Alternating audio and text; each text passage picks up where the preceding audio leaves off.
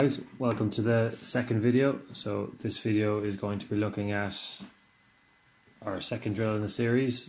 This is going to also be a standing march. The difference here is that we pull the foot, the heel up in the same uh, motion, but we try and increase the speed at which we do so. So for this drill, we replicate the actions drill one. We keep the thigh high position, but we put emphasis on punching the foot towards the ground, quickly pulling the heel back up to the glute in a cylindrical action.